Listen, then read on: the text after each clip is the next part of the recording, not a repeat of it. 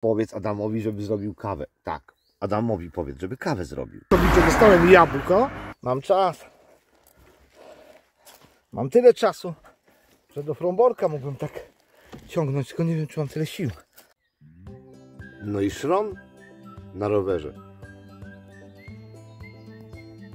Dzień dobry. 6.30 rano. Czas ruszać na Warmię i Mazury. Jest gość poranny, czyli zwinka. Cześć.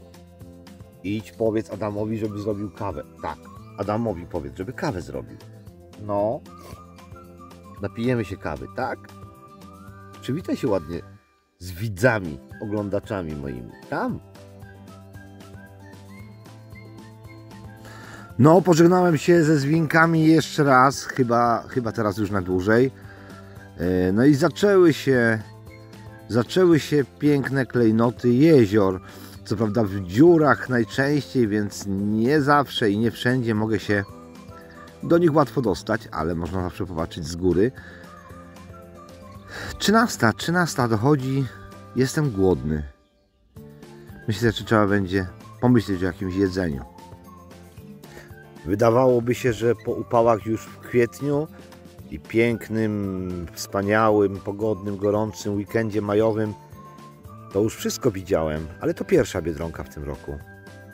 A to, moi kochani, dowód na to, że Ostruda tuż, tuż. Pierwsza raz ta manka została przez mnie spotkana, to jest Faustyna. Tak. Nawet na drodze muszę pogadać, ale jestem opłacony sobie, że dostałem jabłko. A ja zobaczyłam nomada i jako nomadka musiałam się zatrzymać. A to chłopak, mąż, no nie wiem, ktoś od Nie, Faustyny. Przyjaciel, przyjaciel. Tak? Pomaga mi się przeprowadzać. Fizyczny nosi, nosi. A dzięki jeszcze raz. Do zobaczenia w Ostrudzie. Hej.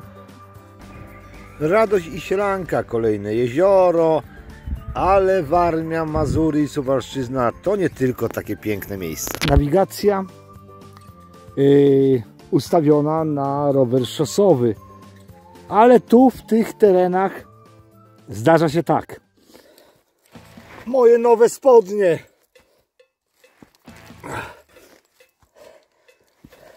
Nowe to one były wczoraj w Decathlonie. I pomyśleć, że jak budowałem rower, to chciałem zamontować wyciągarkę. Jaka wyciągarka? Wyciągarka. Wyciągarka waży. Nie ma lepszej wyciągarki niż własne ręce. Tu wygląda, że zaraz będzie twardziej. Jest pod górę, ale, ale twardziej. Więc chyba pojadę.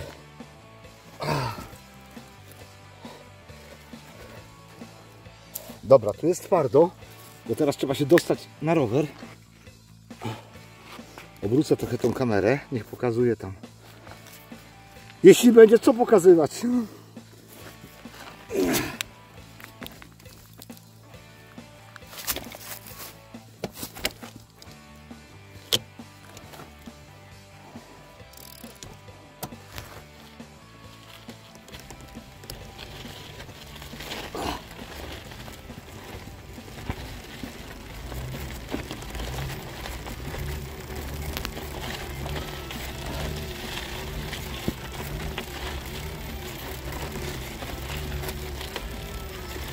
Znowu piach.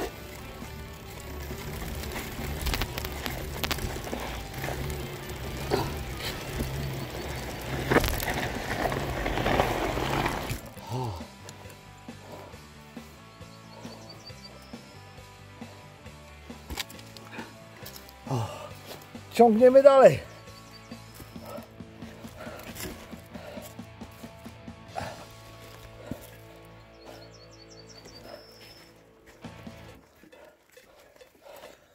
No dobrze, ciągniesz rower po piachu. Jak długo zamierzasz nam to pokazywać? Aż poczujecie się tak zmęczeni jak ja po godzinie ciągnięcia tego roweru. Wyciągałem ten rower przez piaszczysty wąwóz pod górę ponad godzinę. Oczywiście od czasu do czasu próbując jechać ujeżdżając 10-15 metrów, potem znowu ciągnąłem, potem znowu jechałem, potem znowu ciągnąłem. I tak aż do na szczęście szczęśliwego końca. Przednie koło już jest na w miarę twardym, ale tylne idą w piachu, więc i tak nie ruszę.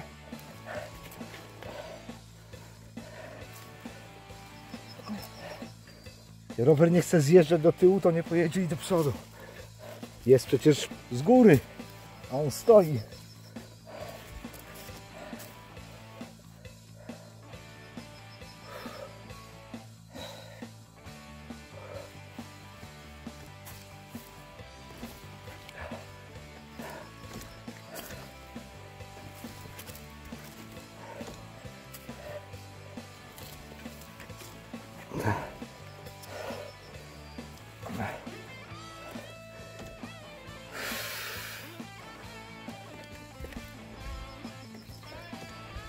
Że nie chcę wracać, bo by wychodzi, że musiałbym wracać prawie do samej Brodnicy. Po prostu nie ma innej drogi, a ta, przynajmniej z mapy wygląda, że za kilkaset metrów powinna być już w miarę normalna. Tu jestem w parku krajobrazowym, on się zaraz kończy, więc myślę, że będzie coś utwardzone trochę chociaż. A jak wrócę? No to kupa kilometrów. Zresztą też będę musiał się przedzierać, bo przecież już jechałem kupę po tym piachu. Ten rower nawet z góry nie chce zjeżdżać, więc...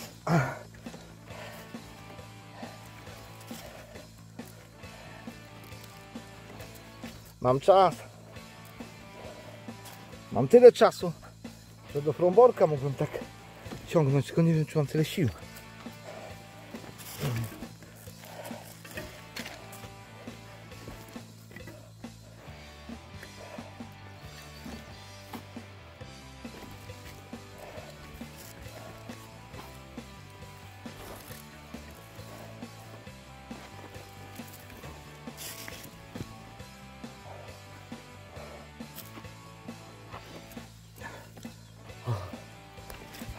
Spróbuję i tak na razie nie mam siły, więc albo muszę odpocząć, albo muszę kawałek ujechać, zobaczymy.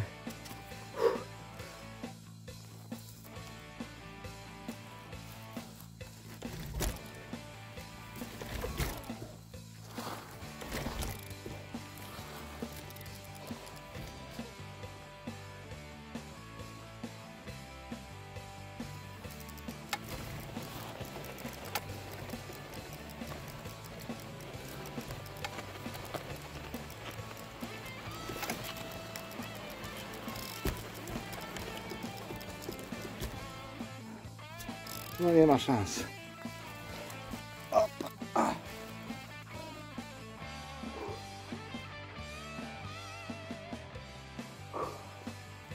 Przerwa. Łączę jak będę ciągnął dalej. Dobrze, że mam jeszcze zwykłe papierosy. Kilka sztuk. Bo Aikos nie odgania komarów. Jest ich tu mnóstwo. Chcemy zeżreć.